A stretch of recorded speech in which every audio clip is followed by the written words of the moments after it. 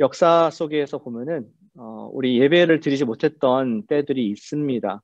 우리는 전례가 없는 unprecedent라는 말을 요새 많이 씁니다. 근데 어, 전례가 있습니다. 사실은 어, 그러한 시간 중에 한 번이 18세기의 프랑스 시민혁명 당시였다고 하죠. 프랑스의 시민혁명 당시에 어, 프랑스 의회는 교회를 해산시켰습니다. 종교를 해상시켰습니다. 그래서 예배를 드리지 못하게 되었게 되죠. 또 성직자 목사님들 또 우리 사제들은 어, 쫓겨났습니다. 그래서 숲으로 도망을 가기도 했죠. 그러한 때에 또 그럼에도 불구하고 하나님의 은혜의 수단들이 있었, 있었던 것을 발견하게 됩니다. 어, 때로는 심부름꾼이 어떠한 메신저가 와서 비밀 암호를 얘기하고 갔다고 합니다. 그들은 말하기를 어, 검은 습지요 이렇게 얘기를 하고 인사도 하지 않고 바로 달아났습니다. 그러면 크리스천들은 알게 되죠. 어, 무슨 말인지. 그들은 어, 밤에 늦은 밤에 어, 어둡게 밝, 밝혀진 그런 등을 가지고 그들은 어, 이 늪지대로 검은 늪지대로 한 명씩 두 명씩 찾아오게 됩니다. 그리고 그곳에 이미 쫓겨난 목사님이 계셨는데 거기에서 그들은 주의 만찬, 예수님의 살과 피를 나누는 일들을 했다고 합니다. 비록 어떤 큰 경고와 함께 군사들이 언제든지 다 들이닥칠 수 있는 상황이지만 그 속에서 받아 먹는 또 받아 마시는 예수님과 살과 피는 그들에게 놀라운 새로운 힘을 주고 또 죽음도 두려워하지 않는 그러한 능력을 베풀었다는 것을 역사가 증언해주고 있습니다. 참 그렇습니다. 예수님 믿는 믿음이라는 것은 참 위대한 능력이 있습니다. 분명히 절망하고 힘들어하고 소망을 잃어버려야 되는데 이상하게 소망을 갖습니다. 또 부활의 능력이 있습니다. 이상하게 두려워하지 않고 담대하게 우리 목숨 걸고 하나님께서 맡기신 일들을 행하는 그런 위대한 능력이 있습니다. 그리고 그러한 믿음의 핵심에 예수님을 바라본 믿음의 핵심에는 무엇이냐면은 많은 역사 가운데 주의 만찬이 그곳에 있었습니다. 예수님의 살과 예수님의 피를 나누는 그곳에 놀라운 역사와 능력이 있었다는 것이죠. 그리고 또 이 주의 만찬이 단순히 교회 전통 속에 생겨난 그러한 의식이 아니라 2000년 전에 예수님께서 직접 저와 여러분들을 위해서 믿음의 주께서 직접 제정하신 사실을 우리가 인식할 때에 얼마나 감동이 되는지요. 그리고 2000년 후에 사는 우리가 똑같은 그 예수님의 의식에 참여할 수 있다는 것은 놀라운 하나님의 은혜가 아닐 수가 없습니다. 우리가 죄가 용서되었고 주님의 자녀로서 누릴 수 있는 특권이 바로 주의 만찬입니다. 예수님께서는 우리에게 은혜로 친히 제장해 주시고 또 오늘도 지키도록 하시는데 우리에게 책임이 있습니다. 우리는 어떻게 주의 만찬을 받을 것인가? 또 분명한 질문은 이것이죠. 누가 주의 만찬을 받을 수 있을까? 고난 주간, 특별히 은혜의 주간에 들어가면서 우리는 애매한 가운데 있지 않고 분명하게 어떻게 누가 이 주의 만찬을 받을 수 있는지를 함께 예수님께서 제정하신 그 순간을 바라보면서 주님께서 우리에게 베푸시는 은혜의 한복판으로 더 깊이 들어가는 저와 여러분 되시기를 축복합니다. 누가 주의 만찬에 참여할 수 있습니까? 본문의 배경은 어느덧 예수님께서는 공생애를 마치시고 마지막 6월절 만찬을 제자들과 함께 하시는 시간이 되었습니다. 6월절은 유대인들에게 특별한 날이었죠. 대민족의 명절이었습니다. 우리 한국에는 까치까치 설날이 어, 명절이고 송편을 빚는 추석이 우리 또 중요한 명절이듯이 유대인들은 어, 이 6월절이 특별한 민족의 대명절이었습니다. 즉 예수님의 이때로부터 1200년 전에 모세가 이스라엘 백성들을 애굽에서 출애굽한 그런 기적의 사건을 어, 기념한 것이 6월절 사건이었습니다. 기억나시죠? 어린 양을 잡아서 그 피를 어, 브러쉬에 넣어가지고 피를 문설주에 쭉 발라서 하나님의 죽음의 사자가 그 피가 발린 집을 벗을 때 내가 건너가리라. pass over 했던 그러한 놀라운 구원의 사건이 유대인들의 뇌리 속에 그리고 마음밭에 깊이 새겨져 있습니다.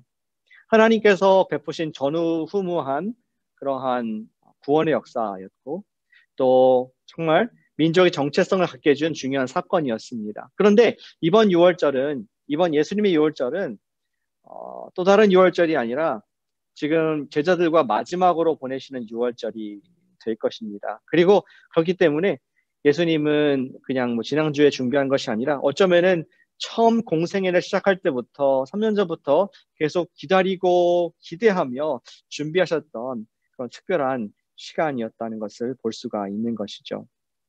드디어 목요일 저녁 때 6월절, 6월절 만찬이 차려졌고 제자들과 예수님은 식사를 하고 있었습니다. 6월절도 식사 자리입니다. 어, 그들은 좋은 분위기에서 말씀을 나누고 식사했습니다. 어쩌면은 그동안에 예수님께서 오병이어를 통해서 기적을 푸신 것을 서로 슬러브레이트 했는지도 모르겠습니다. 눈면 자가 눈을 뜨고 말을 못하는 사람이 입을 열며 귀신 들렸던 자가 어, 자유를 누려는 그러한 간증들로 아마 분위기가 훈훈하게 celebrate 감사 또는 우리 바리새인들과 사두개인들 어떻게 혼내주셨는지에 대한 그런 이야기를 하면서 웃는 웃지 못할 또 그런 시간도 갖지 않았을까 생각이 듭니다. 이러한 좋은 분위기 있는데 갑자기 예사님, 예수님께서 6월절에서 만찬에서 예상하지 못했던 돌발 행동을 하나 하십니다. 그것은 예수님께서 그들이 먹던 떡덩이를 하나 이렇게 잡으셨습니다. 성경엔 떡이라고 되어 있지만 어, 영어는 bread로 되어 있고 어, 제가 갖고 이것은 마조 브레드입니다. 유대인들이 6월절마다 먹는 누룩이 없는 그런 떡, 비스켓에 가까운 것 같습니다. 보통 이런 것을 어, 테이블에 놓고 어, 누구든지 원하는 만큼 가져가서 먹는 식으로 식사를 합니다. 근데 예수님께서 갑자기 이 맛조 브레드를 들고 기도를 축사를 하시더니 이 브레드를 어, 띄어서 한 사람씩 주는 것입니다. 받아 먹으라. 내 살이다. 이런 알 수 없는 말을 하시죠. 예수님께서 갑자기 어, 그냥 각자 알아서 먹으면 되는데 직접 한 사람씩 받아 먹으라 내 살이다 하는 그런 말에 제자들은 깜짝 놀랄 수밖에 없었습니다. 그리고 당연히 이것은 무슨 메타포구나. 실제로 기도에서 예수님이 이 살로 변한 것이 아닌 것을 알았기 때문에 어, 이해는 다 못했지만 얼떨결에 어쩌면은 그들은 이 어, 떡을 이 빵을 예수님이 주신 것을 받아 먹게 됩니다. 아무런 말 없이 받았습니다. 그리고 또 이번에는 예수님께서 동일한 방식으로 잔을 드셨습니다. 이러한 포도, 이건 포도 주스인데요. 코셔. 네. 근데 예수님께서 포도주를 드시면서 또 축사하셨습니다. 기도하셨습니다. 우리 유대인들의 6월절 만찬에는 이러한 포도주가 4개가 있었다고 합니다. 그래서 각각 하나씩 마실 때마다 전에 어, 마시기 전에 성경 말씀을 읽고 하나님께서 주신 이것을 감사하는 기도, 또 축복을 하고 또 찬양을 하는 이러한 네 번의 시간을 가졌습니다. 유대교의 학자들은 생각할 때 이 예수님께서 세 번째 잔을 드시면서 기도하는 그 시간을 이용해서 예수님께서 새로운 지금 의식을 제정하시는 역사의 순간을 어, 지금 걷고 계시다라고 말씀을 합니다. 세 번째 잔은 구원의 잔이었습니다. redemption. 축복의 잔이었습니다. 구원의 축복의 잔이었습니다. 너무나 합당한 예수님께서 하시고자 하는 여기서 의미를 부여하고자 하시는 그 부분을 잘 담는 그러한 세 번째 포도주 잔이었습니다. 예수님께서는 이것을 위해서 기도하시고 제자들에게 같은 방식으로 말씀하시면서 이것을 나눠 주셨습니다. 예수님께서 뭐라고 말씀을 하십니까? 예수님께서는 이것은 많은 사람을 위해서 흘리는 나의 피다. 포도주를 가지고 당신의 피다. 많은 사람 위해서 흘리는 나의 피다라고 새로운 의미를 부여하시고 그것을 받아 마시게 하셨습니다.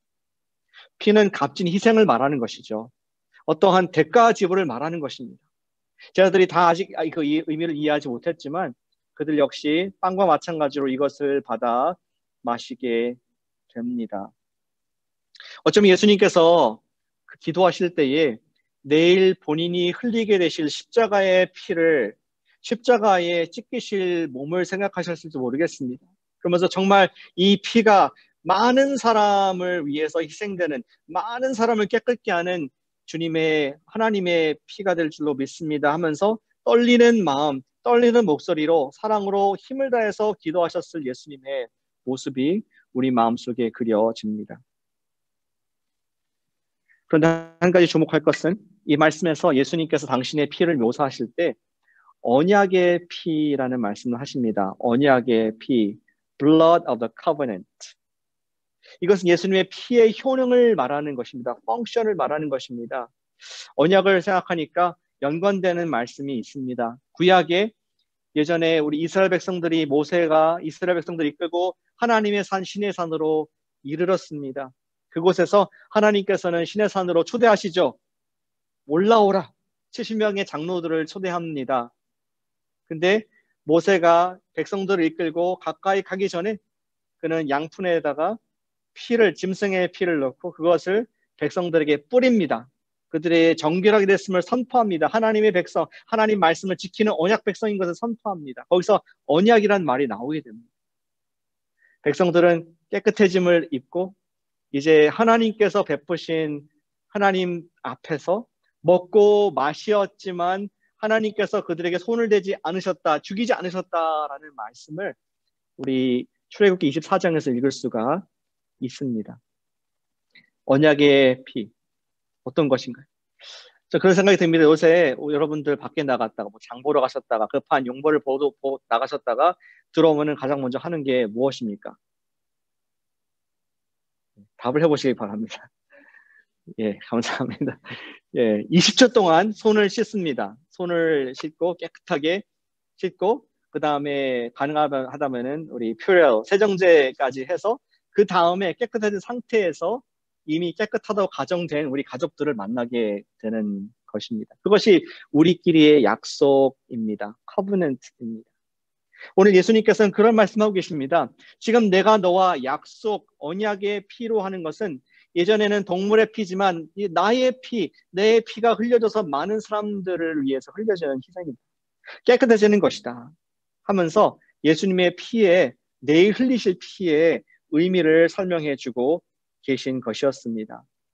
예수님께서 모세 때와 마찬가지로 12명의 제자들을 위해서 식탁을 예비해 주셨는데 이것은 예수님의 언약의 피로 그들이 죽지 않고 오히려 영원한 구원을 얻을 수 있는 죄를 지었지만 용서를 받는 하나님의 예수 그리스도의 언약의 피를 상징하는 주의 만찬을 그들은 이 시간 갖고 있는 것입니다. 그리고 하나 더 예수님께서는 만찬이 다 끝난 뒤에 한 가지 애드하셨습니다. 25절 보시기 바랍니다. 내가 포도나무에서 난 것을 하나님 나라에서 새 것으로 마시는 날까지 다시 마시지 아니하리라. 예수님께서는 이 앞으로 내일 하실 일이 once for all 매번 동물로 계속 들어야 되는 그런 제사가 아니라 완벽한 것이다. 온전하고 깨끗한 것이다. 그리고 어, 다시 할 필요가 없다. 그러한 어, 완전한 구원, 완전한 깨끗함이라는 것을 말씀을 하십니다. 그리고 언젠가 someday 하나님의 나라에서 또 다른 식탁이 있을 텐데 구원이 다 이루어진 상태에서 하나님 나라에서 너와 함께 이 만찬을 먹을 그때까지 내가 먹지 않겠다. 저는 그런 상상을 해보게 됩니다. 우리가 하는 주의 만찬은 어, 불완전하죠. 어, 또 부족합니다. 그러나 우리 언젠가 예수님께서 집례하실 만찬, 예수님께서 직접 떡을 떼어주시면서 이것이 나의 살이다. 예수님이 직접 우리에게 잔을 주시면서 이것이 나의 피다. 너를 너를 위해서 내가 희생한 것이다. 그것을 먹고 마실 때 얼마나 감격스러울까. 그 순간은 예수님께도 너무나 기대가 되는 말씀인 것을 오늘 25절에서 말씀을 해주고 계십니다.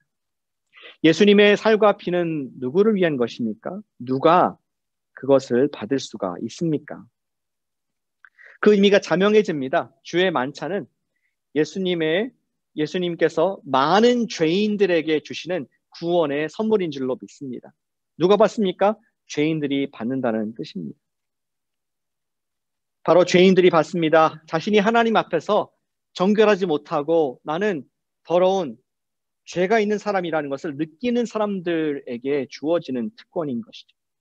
죄인은 무엇입니까? 하나님 없이 사는 사람들이 죄인입니다. 쉽게 말하면. 하나님 말고 내가 내 인생을 책임질 수 있다. 하나님께 여쭙지 않고 하나님께 depend 의지하지 않고 하나님께 구하지 않은 인생이 죄인입니다. 다 죄인입니다. 그러한 내가 주인 되어서 내가 하나님 되어 산 인생 그것을 인식하는 사람이 죄인이라는 것이죠. 그러한 내가 주인된 마음에서 수많은 죄악들이 파생을 합니다. 죄의 열매들이 우리 삶 가운데 가득 열려 있습니다. 어떤 죄들이 있습니까? 불의, 추악, 탐욕, 악의, 시기, 살인, 분쟁, 사기, 악독, 가십, 비방, 능욕, 교만, 자랑, 부모, 거역, 우매함, 무정함, 무자비함. 로마서 1장 21절부터 있는 21가지 죄악을 어, 읽었습니다. 주님의 살과 피는 자신이 죄인인 것을 인정하는 사람들에게 주어지는 예수님의 은혜의 축복의 용서의 도구인 줄로 믿습니다. 요즘 정부가 어, 경제적으로 타격받는 우리들을 위해서 돈을 준다고 하죠. 그렇죠? 어, 아직 받아보지 않아서 둘째는 모르겠습니다. 받아야지 아는 거지. 그런데 누가 돈을 받을 수 있습니까? 그것은 어, 아무나 받을 수 있는 것이 아니라 물론 아무나 받을 수는 있지만 중산층이 받게 됩니다.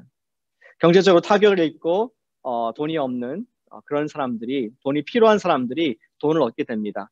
어느 정도 이상 부유가 부유가 있 고 어, 부자들은 해당이 되지 않고 받을 수가 없습니다. 마찬가지로 누가 예수님의 살과 피를 받을 수가 있습니까? 아하, 나는 죄로 인해서 내 영혼이 파산당했습니다. 나는 예수님의 살과 피가 필요합니다. 그것을 인정하는 죄인들에게 주시는 것이 예수님의 성만찬인 줄로 믿습니다. 예수님, 우리 모두는 죄인입니다. 그러나 죄인으로 스스로 인정하는 사람, 그리고 인정하지 않는 사람이 있습니다. 예수님 이 구원이 필요한 마음이 가난한 사람입니까, 여러분들? 아니면 뭐 굳이 예수님이 안 돌아가셨어도 뭐 마음의 위로는 필요하겠지만 굳이 뭐 피까지 필요한가 하는 마음이 부요한 깨닫지 못하는 죄인입니까? 제가 일전에 그러한 예화를 어, 이야기를 읽었습니다. 어, 나폴리의 총독이었던 어, 아스나, 오스나라는 총독이 있었습니다. 오스나 총독은 지금 바르셀로나에서 입항한 죄인선, 죄수선, 죄수의 배를 한 사람 한 사람 인스펙션하는 시간을 가졌다고 합니다. 오스나가 물었습니다. 당신 어떻게 여기 왔느냐? 그랬더니 10중 8구 말하기를 난 억울합니다. 여기 있을 사람이 결코 아닙니다. 나는 이것을 합당한 이런 죄 대가를 받을 이유가 없습니다. 막 다 억울, 억울하다고 핑계 없는 무덤이 없다고 막 이렇게, 어, 이렇게 호소를 하는 것입니다. 그런데 한 사람 만났는데 이런 말을 하는 것입니다. 총독님, 저는 너무나 큰 죄인입니다. 하지 말아야 될 죄를 지었습니다. 내가 안 되면서 안 되는 거 알면서도 가게에서 음식을 훔쳤습니다.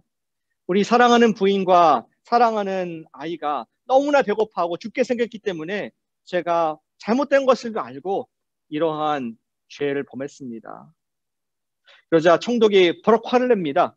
막대기를 갖고 와서 그의 등을 탁탁 치면서 당신이 왜 여기 있습니까? 여기 의인들로 가득한 이곳에 죄인인 당신이 왜 있습니까? 하면서 그를 배에서 킥오프 자유롭게 풀어줬다는 그러한 이야기가 있습니다. 사랑하는 여러분, 사실은 모두 다 죄인인데 인정하지 않는 사람들, 그런 사람들이 가득 우리 주변에 있습니다. 주의 만찬은 누구에게 주시는 은혜입니까? 하나님의 은혜는 내가 죄인이구나를 인정하는 사람들에게 주시는 하나님의 gift, 하나님의 free gift, 은혜의 선물인 줄로 믿으시기를 축복합니다. 주의 만찬은 죄인에게 주시는 많은 죄인들을 위해서 흘리신 주님의 살과 피인 줄로 믿습니다. 그러나 아무 죄인이 아니라 한 가지 조건이 있습니다. 예수님의 기프트, 예수님의 만찬은 회개하는 죄인에게 주어지는 선물입니다. 이어서 또 다른 이야기가 주의 만찬 바로 다음에 연결되어서 마가가 기록을 하고 있습니다. 예수님께서는 제자들과 함께 이 모든 만찬이 끝난 뒤에 너무나 뜨거운 분위기 어쩌면 식히고자 그리고 또 이제 기도하고자 감람산으로 떠납니다. Mount of Olive로 떠납니다. 예루살렘 성 밖으로 나오는 그런 모습을 볼 수 있습니다. 아마 자주 갔던 길이라서 제자들은 또 예수들은 예수님은 익숙했던 상황일 것 같습니다. 그런데 예수님께서 그 길을 걸어가시는데 갑자기 뜬금없이 가슴 아픈 얘기를 하시는 것을 볼 수가 있습니다. 27절 말씀에 너희가 다 나를 버리리라. You will betray me. 너희 여기 있잖아 한 사람도 예외 없이 나를 배신할 것이야. 이러한 말씀을 청청병력 같은 말씀을 하십니다. 그때 누가 가장 먼저 그것에 대한 반기를 들었을까요? 억울하다 이렇게 프로테스트했습니까? 바로 항상 첫 번째로 손 얘기하기 전보다 손부, 손부터 들고 있는 우리 제자 베드로가 얘기를 했습니다. 주님, 저는 절대로 never ever 주님 버리지 않겠습니다. 영어로 그렇게 말하죠. Never say never. 행간을 읽으시기 바랍니다. 예수님께서 그렇게 말씀하셨을 것 같아요. 그러면서 예수님께서 베드로에게 그의 실제를 말씀해 주시죠. 30절에 이르기를 사실은 오늘 밤이 새기 전까지 새벽이 되기 전까지 닭이 두 번 울기 전까지 너는 세 번이나 나를 부인할 것이야. 세 번이나 나의 등에 비수를 꽂을 것이야. 백스타빙 할 것이야. 이러한 가슴 아픈 얘기를 하십니다. 베드로가 더 억울했습니다. 주님, 제가 차라리 죽을지언정 그렇게는 절대 하지 않겠습니다. 그 얘기를 듣고 있는 제자들도 얼떨결에 어떻게 반응할지 몰라서 베드로, 베드로와 비슷하게 충성 맹세를 하죠. 맞습니다. 우리도 절대 버리지 않겠습니다. 이것으로 오늘 본문의 이야기가 끝이 납니다. Let's put one plus one together. 우리 주의 만찬과 지금 예수님의 배신, 제자들의 배신 얘기가 어떻게 연결됩니까? 정말 이 말이 맞다면 이런 뜻이 아닙니까? 예수님께서는 제자들이 배신할 것을 아시면서 그들에게 만찬을 주었다는 것입니다. 나의 살이다, 나의 피다. 내가 정말 너희에게 간절히 소망하고 기대했던 이 저녁에 주고자 했던 만찬이다.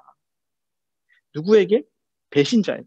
등 뒤에 칼을 꽂는 제자들에게 이 귀한 만찬을 주셨다는 그런 이상한 어, 모습을 볼 수가 있습니다. 어떻게 예수님께서는 몇 시간이면 몇 시간이면은 배신할 제자들에게 이런 귀한 것을 주셨을까요? 예수님이 너무 흥분하셔가지고 감동된 나머지 막 실수하신 걸까요? 결코 그럴 수 없습니다. 답은 간단합니다.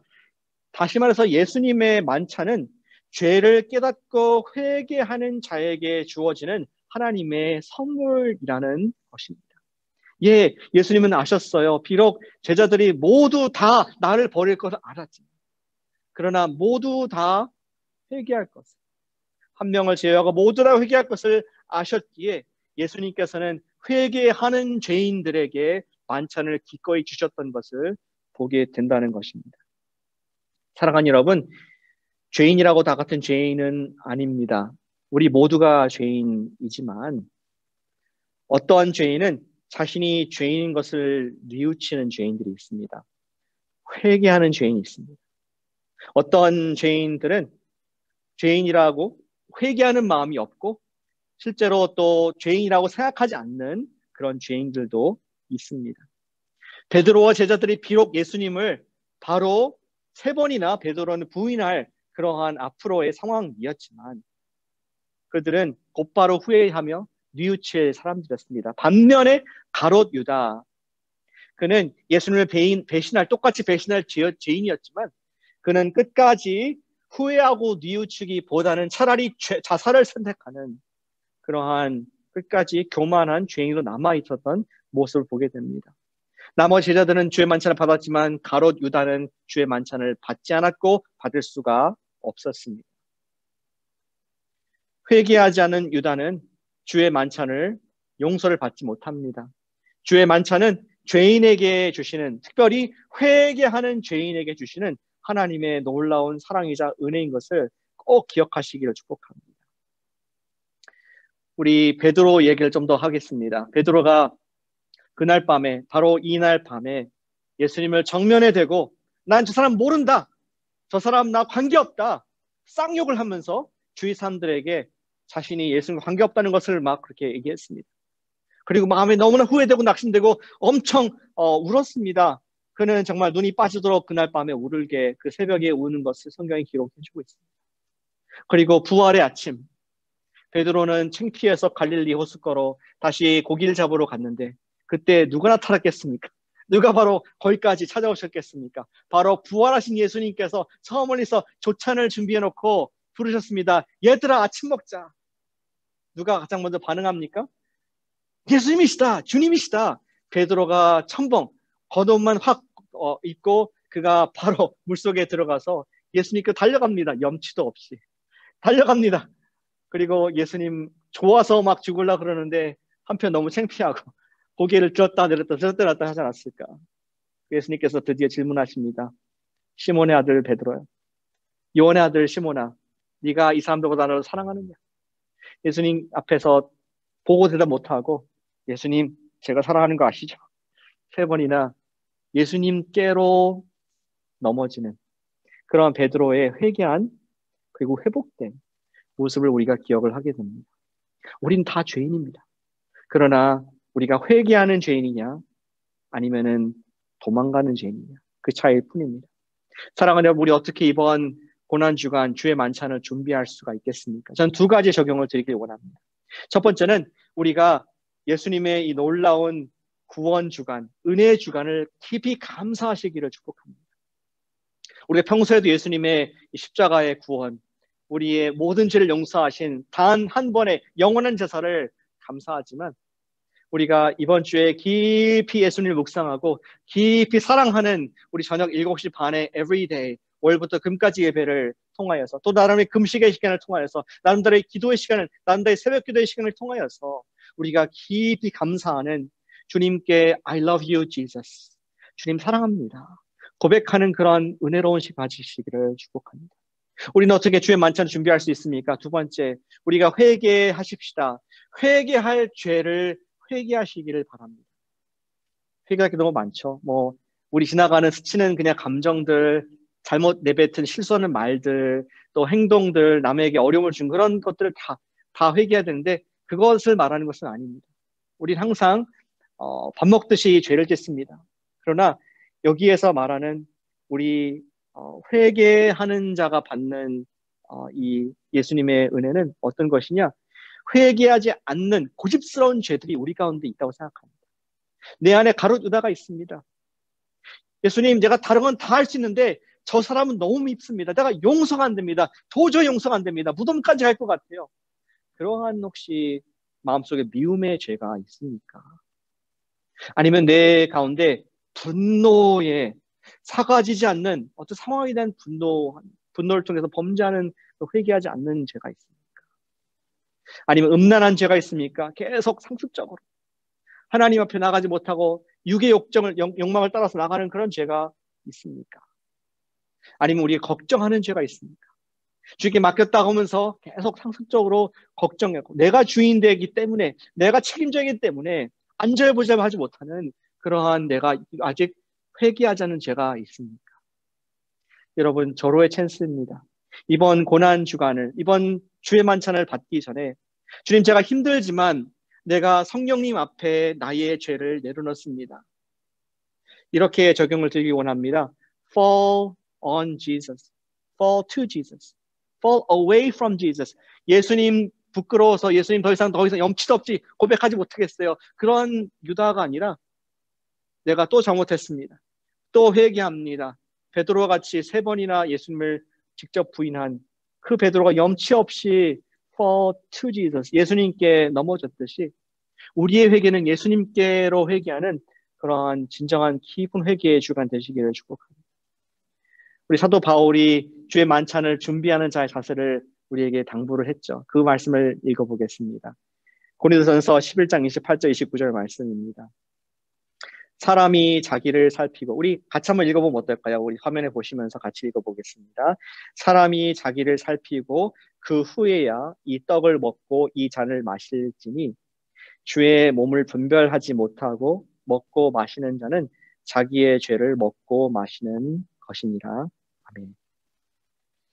우리가 베드로와 같이 자신을 돌아보길 원합니다. 예수님께서 우리에게 기회를 주십니다. 이 고난 주간, 은혜의 주간을 통해서 우리에게 물으십니다. 누구 누구야? 요셉아, 네가 나를 사랑하는? 그럴 때 우리는 예, 주님 사랑합니다. 제가 회개합니다. For to Jesus. For away가 아니라 예수님께로 우리가 나아가고 회개함으로 말미암아 당당하게 우리에게 주신 하나님의 구원의 능력이신 예수님의 살과 피를 받는 2020년도가 어느 해보다 주님의 그 깊은 구원의 사랑 속에 감격하고 거하며 확신을 얻는 우리 코너스톤 성도님들 다 되시기를 예수님의 이름으로 진심으로 기도하고 축복합니다. 이렇게 기도하겠습니다.